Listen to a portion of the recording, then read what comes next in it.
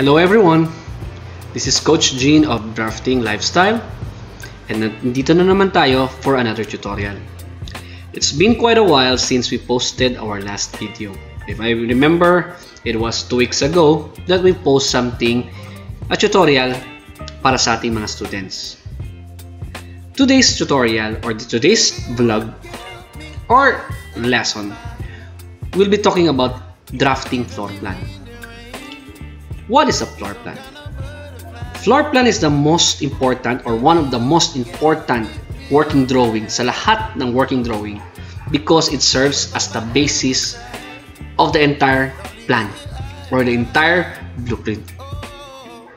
If you still remember, last video na pinost natin, it was drafting site development plan that could measure okay, a drawing that is a pre-requirement for drafting a floor plan that could measure the size ng floor area na pwede nating gamitin sa isang lote. Today's tutorial or today's video will be focusing more on the spaces and dimension or simply to say, to draft a simple floor plan. But ano nga ba talaga ang floor plan? As you can see on the screen, ito ay isang sample ng isang detailed floor plan. It says here, floor plan is a top cross-sectional view of the floor area of the house. The horizontal cutting plane line for this top view passes between the upper and lower window sills or 1 meter above the floor line. It shows the size, arrangements of each room.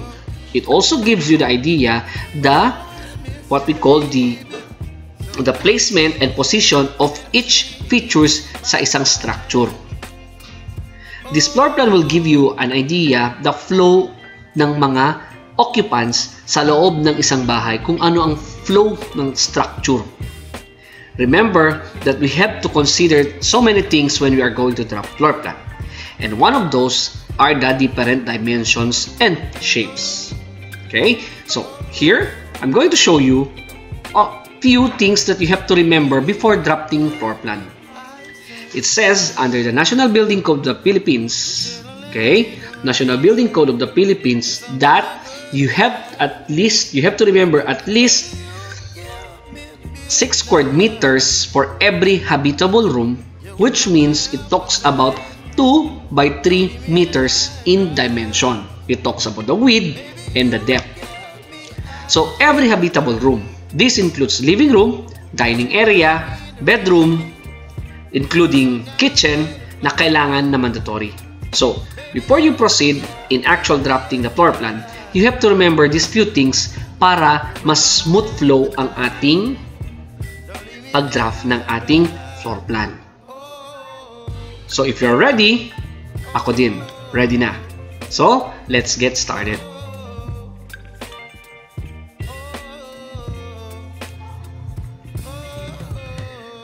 Nandito na naman tayo sa ating AutoCAD workspace. Okay? So, as you can see, I already prepared a simple borderline that we use to create sa ating work. So, this on how to create this borderline, nasa tutorial natin to.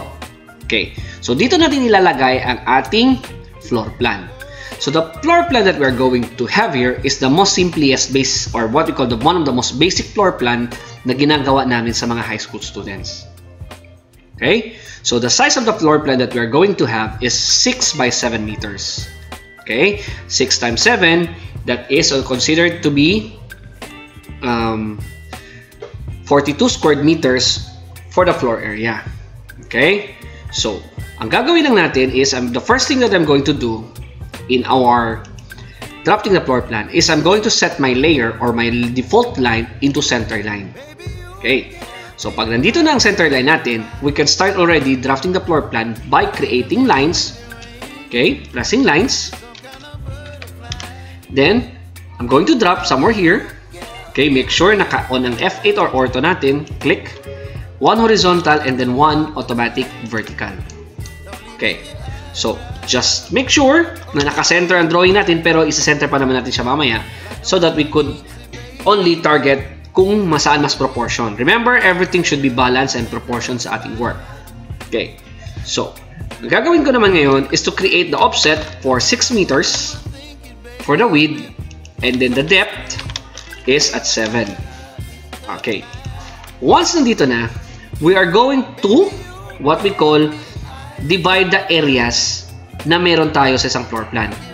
Okay? We're going to divide the pictures and spaces sa isang floor plan. So, here, I'm going to offset 3. Okay? And then offset here um, 4. Okay? And then, I'm going to offset here 1.5. And then, I'm going to offset 2 for the both side of this. Now, after which here, Once na tayo, tapos na tayo dito, trim yung mga spaces na kailangan natin. So that make our work, it would make our work much more easier to understand. So, kailangan kong i-trim ang mga ibang lines so that I can already identify kung saan-saan mga features na meron tayo dito. So, if you're going to look at this, we have here porch, living room, dining and kitchen, bedroom, and what we call the toilet and bathroom. Okay. So, once we already have this, I'm going to set again my layer into wall. Okay, wall, and then this time, remember when we are going to drop the floor plan, we are going to use multiple commands sa ating output. So, what you have to do, the next thing is, sometimes mga dropsman, they prefer to have offset both side to create the thickness of the wall. Pero mas madali sa amin is when you're going to type multiline, ML, enter, press S, For the scale, enter type 0.15. Now, there are times that line thick, the wall thickness is at 0.20. So, meron naman, standard 0.15, pwede din siya. So, either na lang you can choose which thickness of line that you like to use in your floor areas. Pero sa akin, 0.15 is already enough and then I'm going to press enter and then I'm going to type J for justification and then I'm going to click 0. So once we already have set our multi-line, we can already start creating multi-lines around our walls for the walls that we are going to have sa bahay. So I'm going to start sa top, going dito, bababa, going sa porch, okay? Then, encircling going uh, living room, and then press C to close the area. Okay, so naka-close na siya.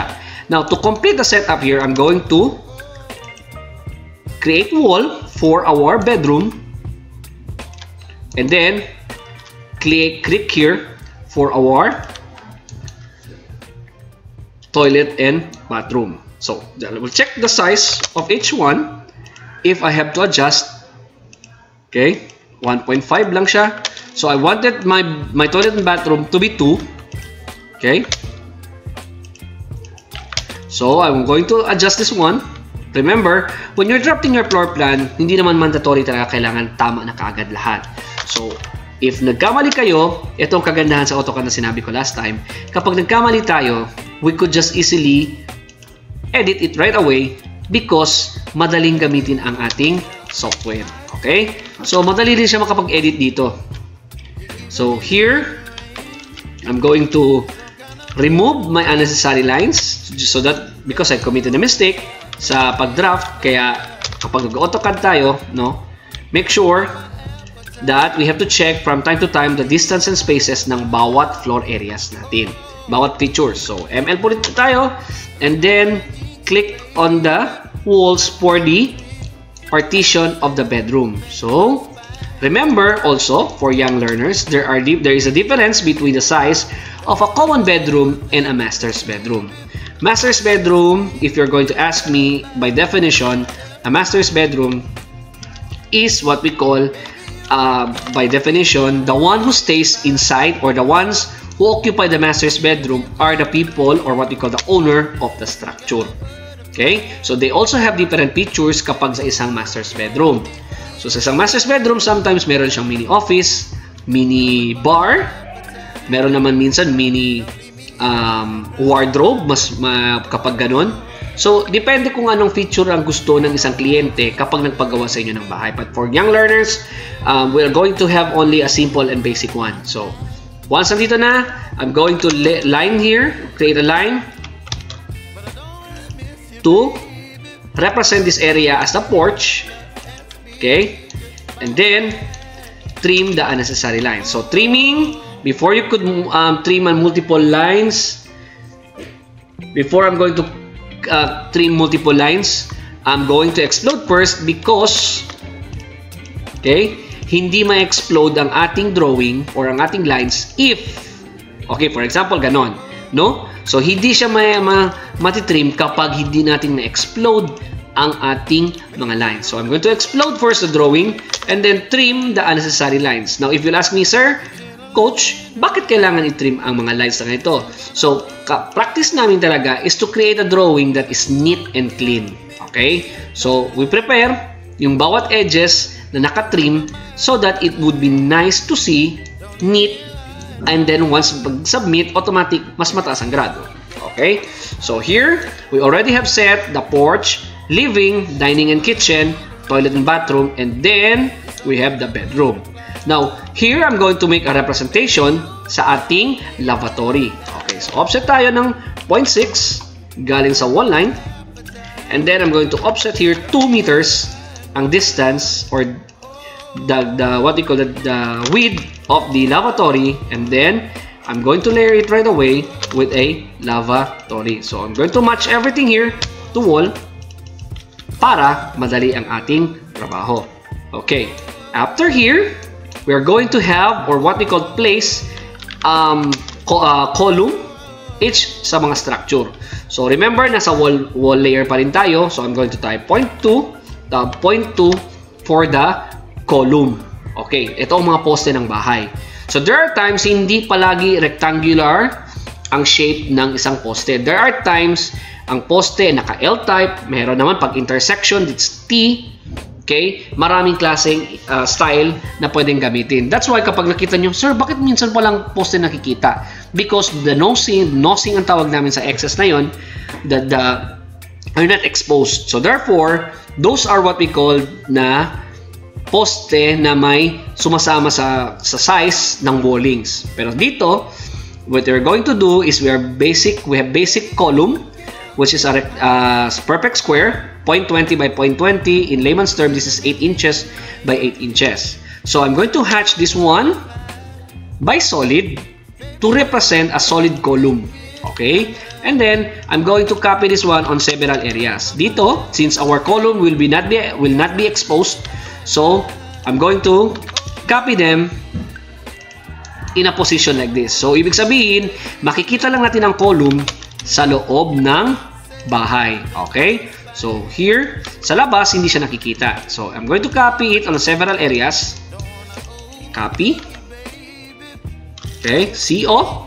Of course, alaman natin yan kasi sa previous tutorial natin, nandun na ito. So, I'm going to copy it here. And then, copy the remaining. Okay, dito na sa kabila and then place it here. So, we already placed our columns in their strategic strategic position. So, mamaya ilalagyan pa natin siya ng grid lines. Okay? So, isa-isahin natin. So, dahan-dahan na natin i-trim din kaagad ang mga excess lines na meron tayo. Okay? So, kasi para mas madali ang ating trabaho. Remember, when you are having um, consuming too much time also, hindi ko naman sinasabi na kailangan sobrang bilis nyo sa CAD. Remember, accuracy um, in work, okay, is much more important than speed. Kasi useless ang speed natin kapag hindi naman tama ang trabaho natin. Okay, so I'm going this time, I'm going to have an offset of 1.2 for our roof line. So I'm going to create a uh, roof line here, 1.2, galing sa center ng wall, and then I'm going to trim the edges para sa ating roof line. Okay? So here, and then I'm going to change right away yung layer natin para sa ating bubong. So I'm going to highlight this one and then change it into roof line. Of course, how to have a roof line? Nandoon na po to sa ating tutorial kung paano gumawa ng layer. Okay. So, ngayon, we already have placed the roof line and then the position of each part ng spaces and features sa isang floor plan. Ngayon, we have the next part that we are going to have would be the placement and position of each window. So I'm going to change my layer here. Then I'm going to choose the normal layer, 0, so that I could work mas klaro para sa akin. Pero kung gusto niyo pa rin center line, you can do so with uh, uh, you can do so with your own preference. Okay, so here, I'm going to find the center part of the window. Okay, ngayon, for clarification, when you're going to have um, windows like this, hindi na palo palagi kailangan nasa center ang window. Okay, karamihan kasi may nagtanong sa akin, Sir, kailangan ba talaga sa center palagi ang window? No, not time to time, ang window ay kailangan nasa center. There are times in a modern, there are times also, also this would, would be sided with modern architecture, that windows can must be placed kung saan ang orientation or kung saan mas free flow ang hangin. Also, position of windows must not be harsh towards the sun, lalo na kapag sunset. Kasi kapag nandun ang bintana sa may sunset, mas matindi ang araw, lalo, lalo na ngayon, mainit ang panahon, mas mainit ang kwarto. So remember, strategically, you have to place the windows kung saan mas free flow ang hangin and then minsan no kung saan or most of the time kung saan hindi masyado tumatama ang araw para hindi intense ang init sa loob ng isang structure. Okay? So, karamihan ganun turo sa amin. Okay, so now I'm going to have a standard window of 1.2 by 1.2 meters. So, if you're going to divide it, it would be 0.6. So, I have only common style of window. Okay, 0.6 by 0.6. Okay, the standard, if you're going to have it, 1.2, 4 feet by 4 feet. So, dito naman, I'm going to have a single panel here, 0.60. So, going to divide it by 0.3 to create a window of 0.6. So, para sa ating toilet and bathroom, and then for our lavatory um, bintana. Okay, so I'm going to trim the excess. How to trim? TR double space bar. Okay, TR double space bar para mas mapadali ang ating trabaho. Okay, so trim nyo lang yung bawat excess or edges na hindi kailangan sa inyong drawing. Okay, so here, I'm going to remove this, remove this. Okay, I'm going to remove that all the unnecessary lines that are not important in my work. So, ito, tanggalin ko na to.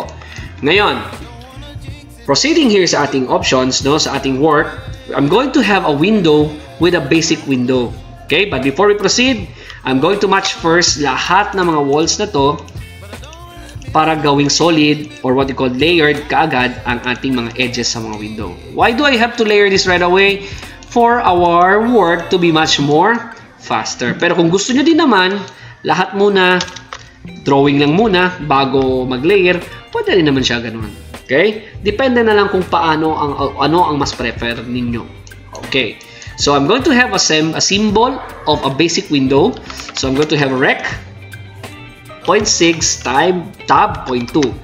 Okay, and then I'm going to copy this one right here And then, one spare copy sa taas para sa ating window sa toilet and bathroom and sa lavatory. So, I'm going to have this as the first window. Maraming window symbols na meron tayo available. You can also download sa internet. Pero since we are going to draft it in the most basic way, so this is the one method that you could do. So, I'm going to layer this one into windows. Okay. So, doors and windows. So, I'm going to turn this into blocks. Typing B enter, and then say for example, window 1. Okay? So, then, okay. So, dito, meron akong window 1 right away. So, let me change this. Say for example, window 1, um, basic.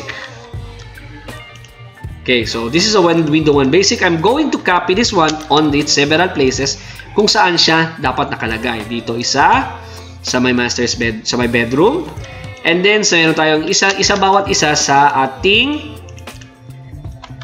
living room and sa ating kitchen and dining. So, meron tayong isa doon. So, I'm going to edit this one here para malinis yung drawing. And then, since I already have this copy, so I'm going to erase this. And then, this one sa ating toilet and bathroom and lavatory. Okay. I'm going to layer it right away and then copy this one. Now, I'm going to turn this into blocks. Say, for example, window 2. basic and then okay. So I'm going to copy this one again para sa ating toilet and bathroom and then one sa kitchen lavatory. Okay. Now, we already placed the positions strategically okay sa ating for example lang naman eh. Okay? Example sa ating mga position ng bintana. Now, we have to place the doors this time. So, coming here, standard procedure namin palagi is to have point 2 and then type the door entrance at least 1 meter. So, commonly, standard doors rest at least for every entrance must have at least 1 meter in depth or what we call in in width for the entrance. So, commonly, ito talagang size na ginagamit sa mga bahay. 1 meter is the most ideal measurement that we have for doors sa mga entrance. Sa mga exit, we could also have at least 0.9. So, offset muna tayo ng 0.2 and then offset tayo ng 0.9 for the door what we call width here and then trim the excess lines okay and then here sa ating toilet and bathroom offset tayo ng 0.2 and then we have here offset na naman tayo ng 0.7 so I still remember way back before marami nag-aaway tungkol sa size ng pintuan sa CR now 0.70 is what I have chosen because this is the what we call the standard size that we have here in the market. So 0.7 ang ginamit ko um, because of the availability of material is at 0.7. So realistically, because this is uh, detailed drawing, so 0.7 ang ginamit ko. So hindi na natin kailangan mag-away gaya ng engineer at saka ng architect. Nag-away pa talaga sila dahil sa size ng pintuan.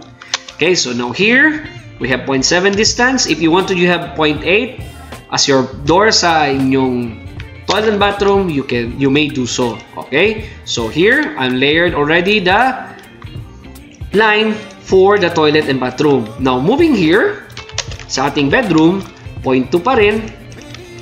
And then, the distance of the door. So, sa toilet, sa common bedrooms, sa structure, 0.80 is the most ideal size of width that we are using. So, trim lang natin all the excess lines and then right away, imamatch na natin siya para sa ating work. So, match okay para mas mapadali ang ating mga trabaho. Okay? Now, once we already have it here, we are going to have to place the doors that we are going to have with our work. So, we are going to place the doors this time for our different positions sa mga pintuan. So, the symbol of doors you, you are going to use, again, would be the most basic. Okay. So, I'm going to type here rectangular command and then I'm going to type the value of 0.05 tab 1. Okay. Now, if ganito ang sitwasyon, just rotate the drawing like this. So, RO lang po ang kailangan pindutin. Then, we are going to move the object here sa edge. And then, this time, we are going to have a circle command. So, circle ang ginagamit ko palagi because nasanay na talaga ako. But most of the experts that I have known, friends na architect, draftsman, they are using arc.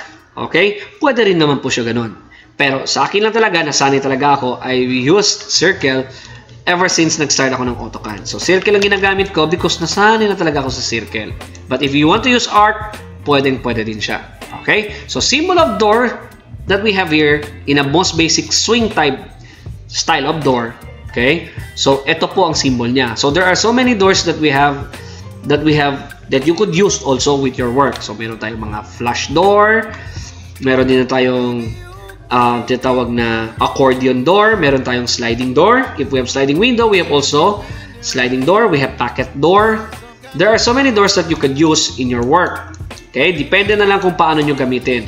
Pero dito sa atin, since we are learning the basic, we are going to have it here simple as like this. Okay? So, let's proceed with door 2, rec 0.05 and then the distance again if you remember it is 0.9 and then move the drawing here the corner and then command circle.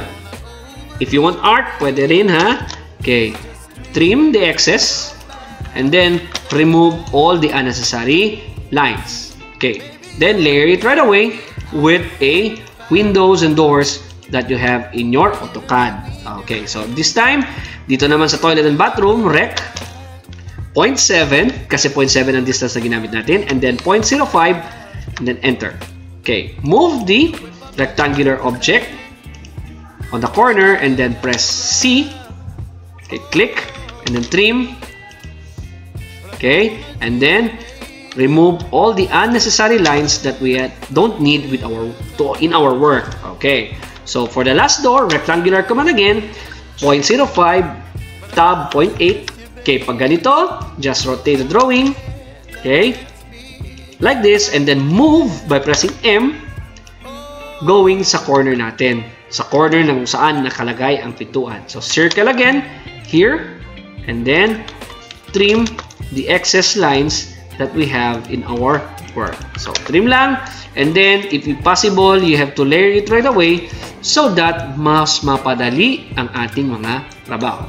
Okay, now, Here, I'm going to create a solid line because this will give a representation for our wall sa ating tinatawag na floor area and sa ground. Okay, so that's why we have to place a solid line.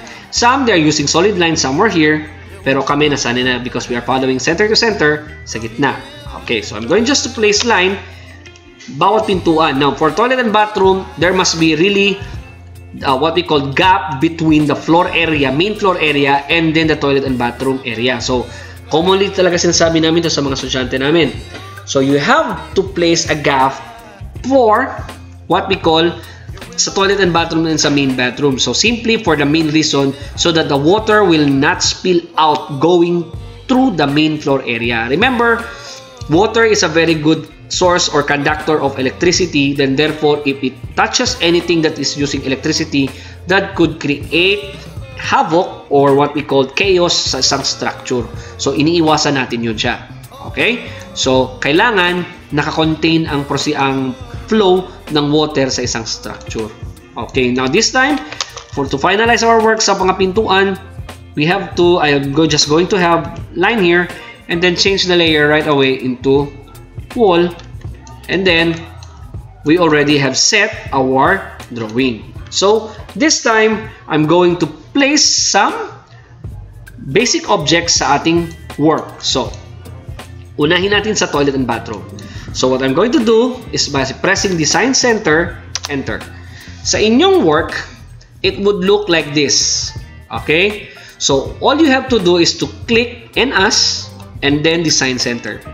And then here once you reach here you would see so many blocks. Those are basic blocks or basic drawing objects na meron kayo sa inyong AutoCAD. Okay? So basic lang. You could also download sa internet mas maraming design. Okay? You could use so many designs sa internet. Okay? What you are going to do here is by pressing for example dito sa kitchen I'm going to use click kitchen and then blocks. And then I'm going to use the range. Okay? Um, single. Okay? For the, our sink. For example refrigerator pwede din okay then back here we are going to have sa house designer again blocks so para sa ating kubeta okay and then if you want lavatory sa, sa, sa loob ng CR pwede din siya okay so then back um, what else do we need um, there are so many designs that you have you can have here pero If you want more, mas marami sa internet. Okay?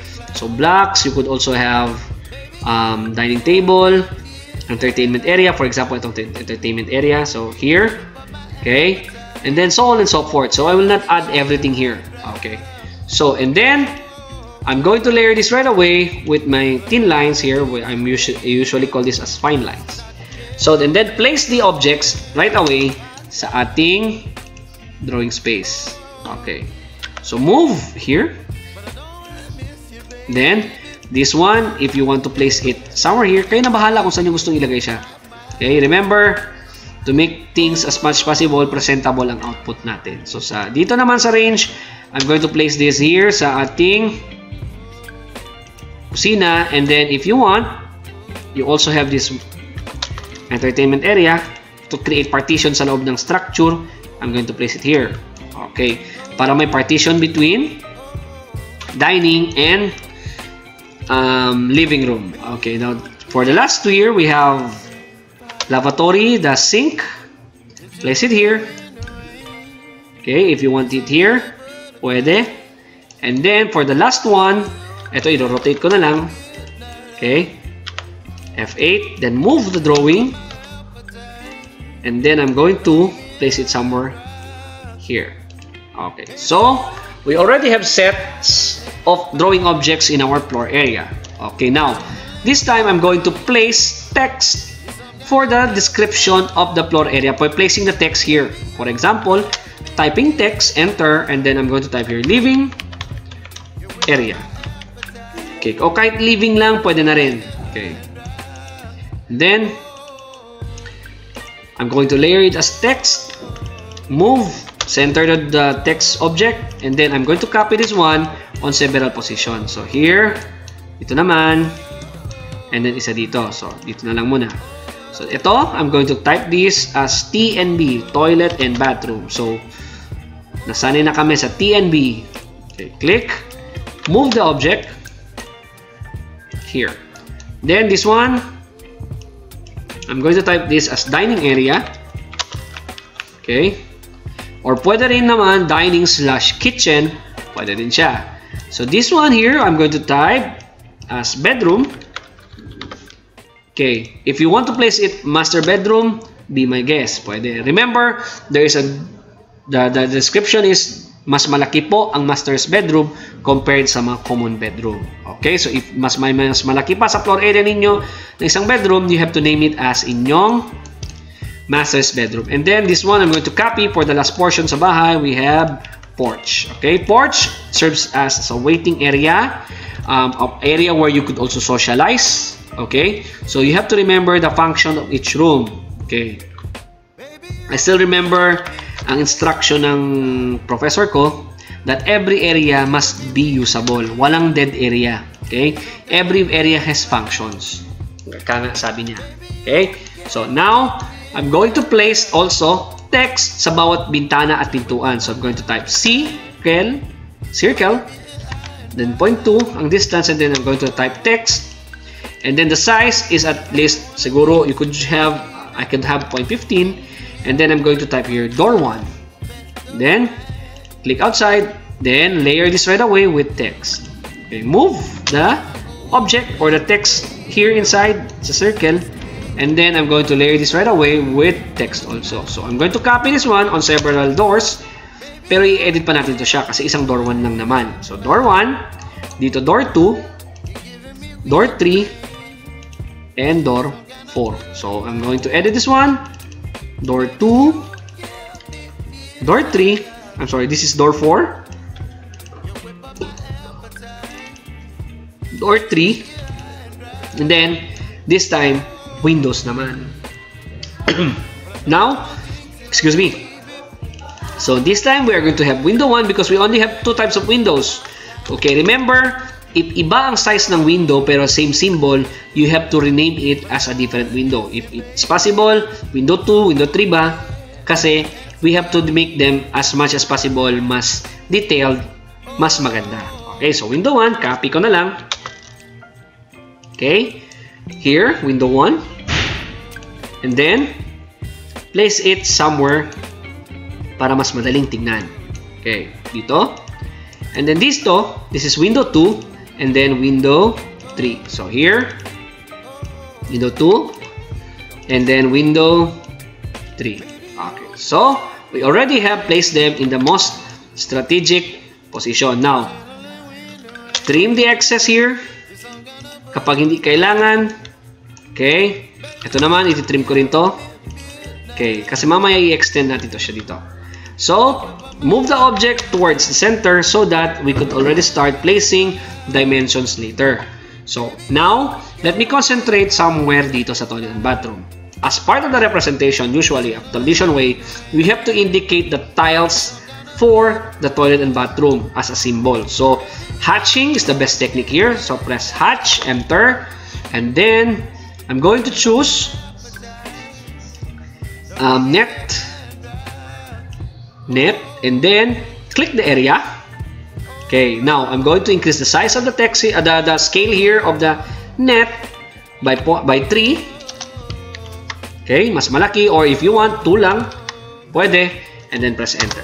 Okay, now, automatic, ile-layer ko kagad siya. My most thinnest line, remember in the alphabet of lines, okay, section areas, okay, so dapat they are made of thin lines. So, I'm going to use thin lines sa ating representation sa toilet and bathroom tiles. Now, same procedure will be applied sa lavatory. Hatch, and then, net pa rin, click the area, okay, and then I'm going to lower the scale by 1, Okay, if you want 1.5, pwede din. And then if you're okay, satisfied with this, enter. And then change the layer right away with what we call um, section. Okay, so if you want to have layer for tiles only, pwedeng pwede din siya. Okay, para sa akin, kasi they have the same thin lines, so automatic yun ang pipiliin ko. Now, if you want also to have hatch for if you want also to have hatch for um, porch, pwede din siya, hatch, enter. Depende kung gusto ninyo ha. I'm going to use this one, net 3. Okay. And I'm choosing 3. Okay. Pwede din siya as represented as this way. Okay. Pwede din siya. So, enter lang. Okay. And then layer it right away with section. Okay. So, as represented as porch area. Now, if you want net, just click this one, choose net, and then change it 45 degree sa hatching natin, pwede din siya. Okay? Depende kung ano ang mas preferred natin.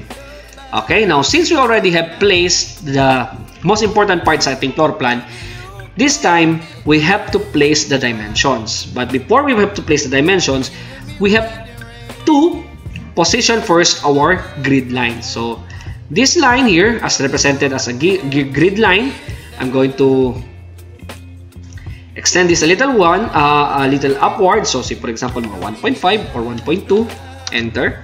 And then here, I'm going to place circle by size of 0.3. Okay, so I'm going to move this here.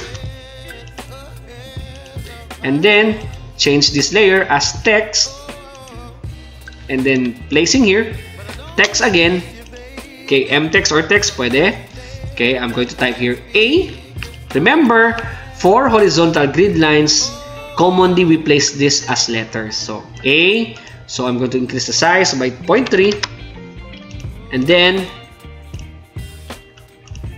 layer it right away with text, move the object, okay, move the object here right away for our text marking. So what all I, all I have to do is to move this or to copy these lines para sa bawat area. Okay? So here, I'm going to mark this and then extend all the remainings. Okay? And then erase, copy this figure for our grid line. So, ano bang purpose ng grid line? Grid line is very important, especially in identifying or position, to identify the position of each column, footing and column. Nagagamit talaga to kaagad kapag nasa foundation plan na tayo.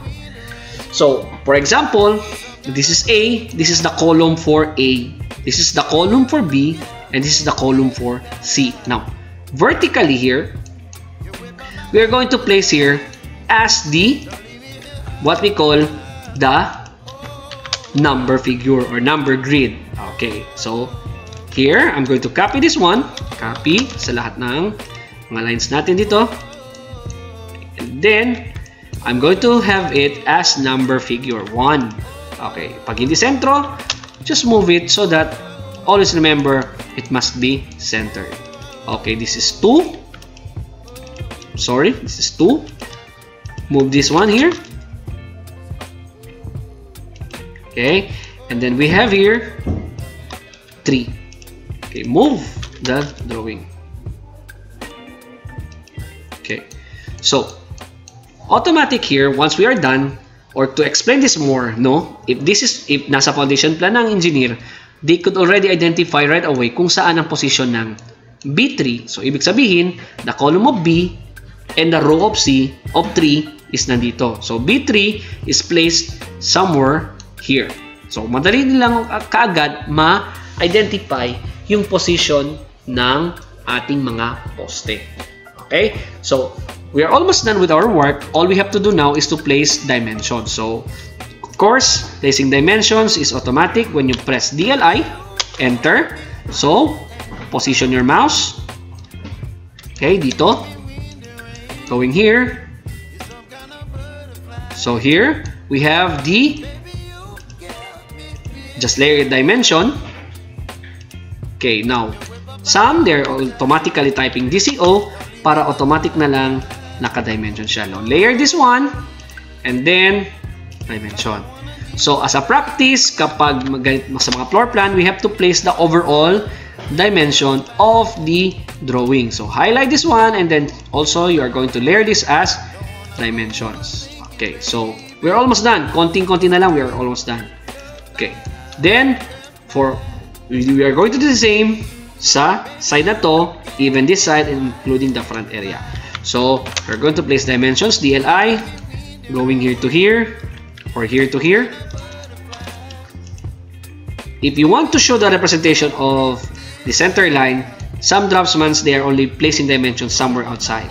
Okay? Kasi kung ipiprint naman to siya sa, sa monochrome, madali lang din naman siya makikita.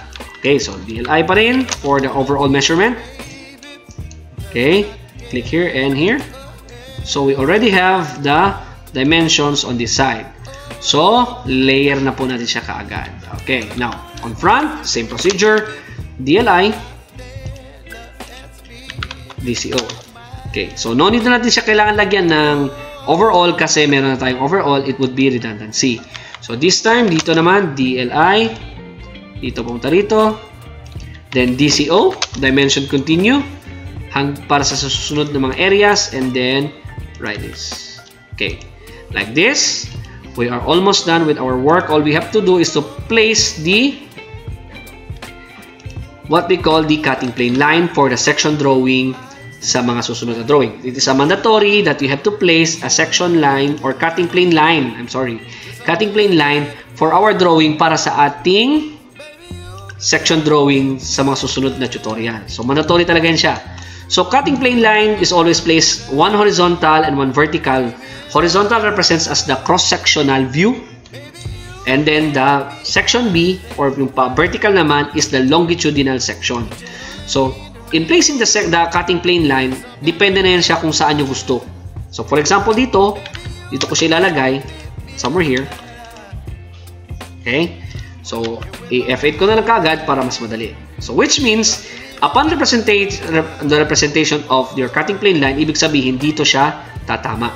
Now, I'm going to place here line, and then create the arrow. Okay, click lang, circle. Okay, then afterwards, I'm going to choose polygon. Okay, polygon. Sorry, polygon. And there are three sides. Enter, click.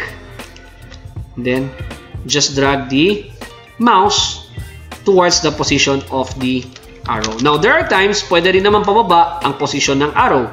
Depende na lang kung saan nyo mas gusto. Okay? Then here, I'm going to do the same, pero ibang style ng arrowhead. Now, if you want to copy, okay lang din if you want. Okay? Pero, if you want to have additional style para mas medyo aesthetic tignan, aesthetic value of the floor plan, okay, pwede din siya. Okay? So, trim all the unnecessary lines. Okay? And then, I'm going to layer this as what we call cutting plane line. Okay. So, already have here cutting plane line. And then, all we have to do, now, there are times, ang cutting plane line is only presented hanggang dito lang. There are also times, nasa buo talaga siya. Okay, now, if you'll ask me, sir, coach, isa lang ba talaga, uh, dalawa lang ba talaga ang cutting plane na pwede gamitin sa isang floor plan? Depende po sa kung ano ang inyong detail na gustong ipakita. Okay? So, always po nakadepende yan siya. So, I'm going to hatch this one. Solid. Okay? So, I'm choosing solid. Then, enter lang. And then I'm going to match the area. Okay? Hatch dito siya. And then match the layer. Okay. Now, I'm going to place text here. Text. Okay. Some, they're using it like this. Move the drawing. Sa loob, meron naman, minsan, nasa labas. So, pwede din siya. Okay? Depende kung ano ang mas prepare ninyo at ano, ano ang talagang mas maganda. Okay, so here, this time, we already have the horizontal or what we call the cross-sectional section or cutting plane line. This time, we are going to have for the longitudinal here. Now, pag tinanong nyo sa akin, sir, mandatory ba talaga to dito? No. Depende po kung saan mas prepare ninyo. Okay?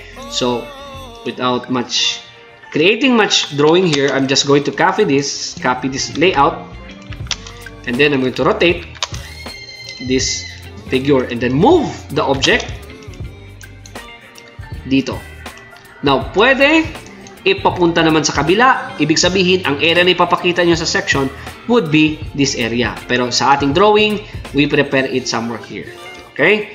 So, this line or this figure or object would be copied and then rotating it somewhere like this and then move the arrow somewhere below. Okay, trim and then match the drawing or object with our line. Okay, so we are almost done. Pa finishing touches na lang and that would be the name of the drawing. Okay, so I'm going to copy na lang kasi meron naman akong nilagay dito or ito. Okay, copy ko na lang to siya. Copy. Okay, and then I'm going to place it somewhere here. Now, the size of this text must be at 0.5. Always remember that. Because this is a title drawing. Okay? So, atong scale naman, it could ranges from 0.15 to 0.20. Okay? Now, that is the main function of this. Now, etong circle na to, if you are going to look at this, sir, display lang ba yan? No. This is not as display as you are going to look at this. There is what we call uh, the, the what we call drawing number. So, for example, this is an architecture. It will be placed with an A and then the drawing number.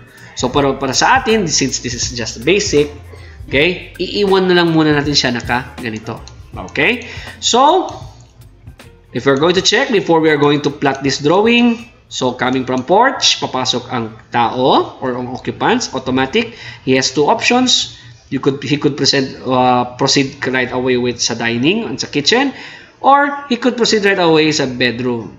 Now, this is what we call the flow or circular or what we call the movement inside the structure. If you would if you will not believe me, even sa loob ng structure ng bahay, meron ding traffic.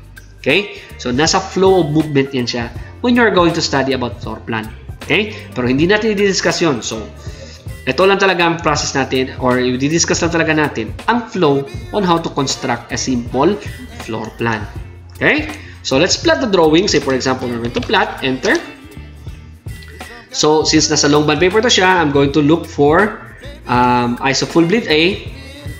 Okay? ANSI full bleed A 8.5 by 11 because nasa short band paper to siya.